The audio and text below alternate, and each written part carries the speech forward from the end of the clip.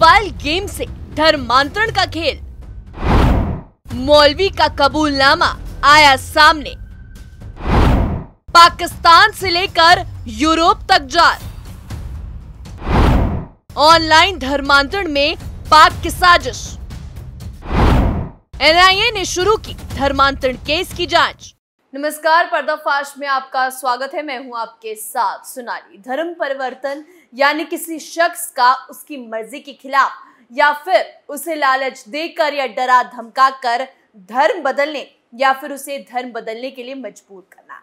ये कानूनन अपराध है और इस पर सजा के प्रावधान भी हैं। लेकिन बावजूद इसके, रोज धर्म परिवर्तन के मामले सामने आते रहते हैं।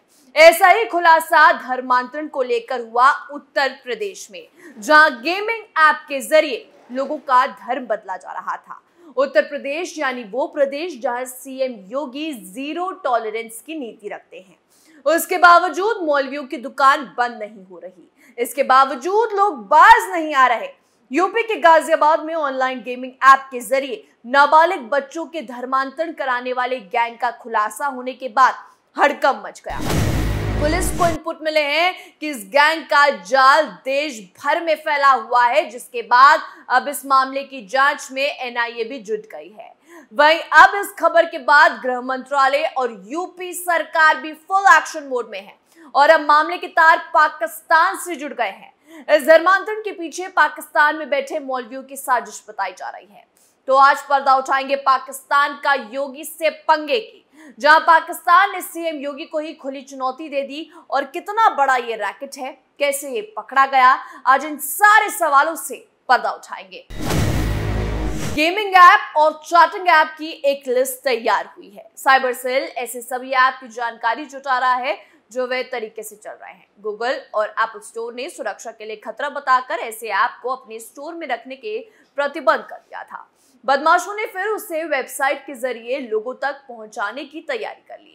बारहवीं के स्टूडेंट के धर्मांतरण के प्रयास में जिस गेमिंग ऐप और चैट ऐप का नाम आया, वो प्ले स्टोर या एप्पल स्टोर पर नहीं था। उसे भी एक वेबसाइट पर दिए गए लिंक से इंस्टॉल किया जा रहा था।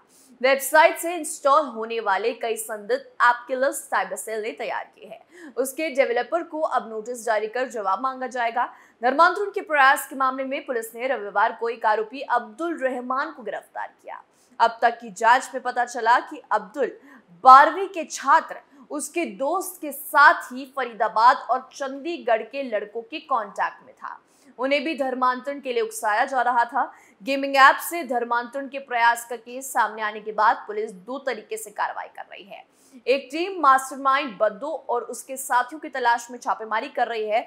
बद्दो की आखिरी लोकेशन मुंबई में मिली। दूसरे तरीके से कार्रवाई में साइबर सेल की टीम जुटी है। साइबर सेल ऐसे सभी गेमिंग ऐप और चैटिंग ऐप की डिटेल निकाल रही है। उनके गैर कानूनी पहलू की जाँच की जा रही है।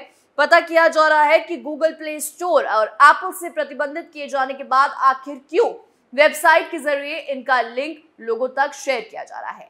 ऐसे ऐप से कौन सी सूचनाएँ यूज़र्स की लीक हो रही थी या दूसरों की कौन सी गतिविधियाँ चल रही हैं?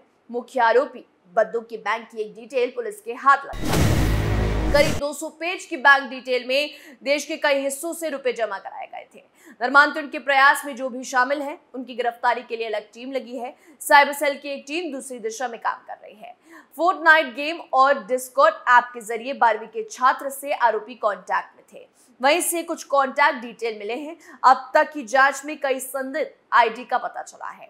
उनके बारे में जानकारी जुटाई जा रही है। गेमिंग ऐप को भी नोटिस जारी कर जानकारी मांगी जा रही है। इस मामले में डीसीपी सिटी निपुण अग्रवाल का क्या कहना है, चलिए आपको बता दें। निपुण अग्रवाल ने कहा कि धर्मांतरण के प्रयास में शामिल ऐप गूगल या एप्पल स्टोर पर नहीं है। इन्हें वेबसाइट से सीधे डाउनलोड करके इंस्टॉल किया गया था। बेटल रॉयल गेम में इससे पहले लेवल अपग्रेड के नाम पर ठगी हुई थी। अब धर्मांतरण के प्रयास का मामला भी आ गया। ऐसे गेम की डिटेल जुटाई जा रही है। डीसीपी सिटी निपुण अग्रवाल ने बताया कि पूरे नेटवर्क को तीन चरणों में चलाया जा रहा था। हर स्टेप पर अलग लोग थे। उनके बारे में पता किया जा रहा है। गेमिंग ऐप पर बद्दों के अलावा कुछ अन्य आईडी के बारे में पता चला है। दूसरे ऐप डिस्कॉर्ड है। उससे जुड़े लोग भी हमारी जाँच में शामिल किए गए हैं, ऐसा कहना पुलिस का है।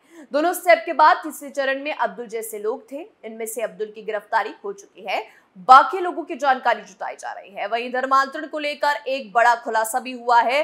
धर्मांतरण कराने वाले सरगना ने कबूल लिया है कि वो इस काम में काफ़ी एक्टिव था।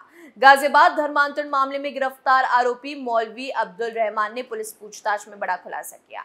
मौलवी ने बताया कि उसने दो नाबालिग हिंदू लड़कों का धर्म परिवर्तन कराया है। बता दें कि दो दिन पहले ही धर्मांतरण के बड़े रैकेट का पुलिस ने पर्दाफाश किया था, जिसके तार विदेशों से जुड़े हुए हैं। ये लोग ऑनलाइन गेमिंग ऐप के ज़रिए हिंदू लड़कों को अपने जाल में फंसा कर उनका धर्म परिवर्तन करा रहे थे।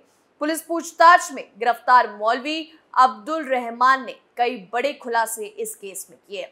अब्दुल रहमान ने कहा कि उसका मुख्य मकसद इस्लामिक धर्म का प्रचार प्रसार करना और नाबालिग हिंदू लड़कों को अपने जाल में फंसाकर उनका धर्मांतरण कराना था।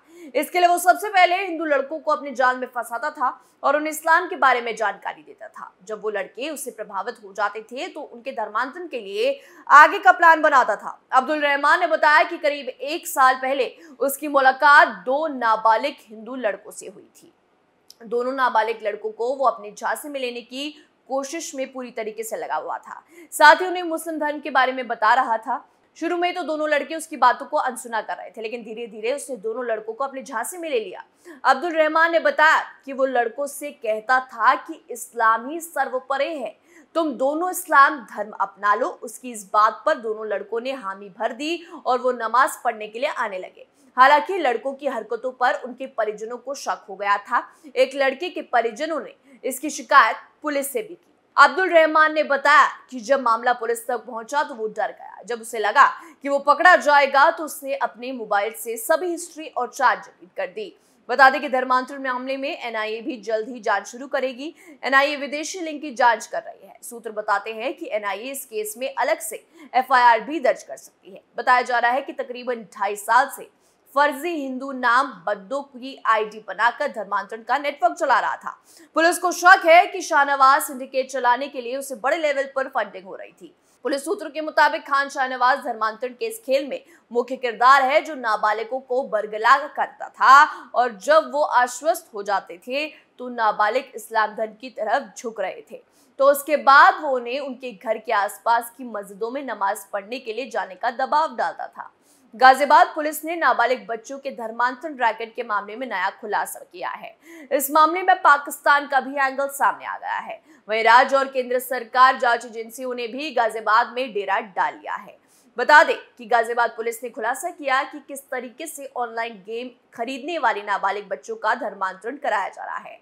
दरअसल गाजियाबाद के रहने वाले एक नाबालिग बच्चे के परिवार ने आरोप लगाया था कि उनका बेटा जिम जाने के बहाने पाँच बार घर से निकलता है।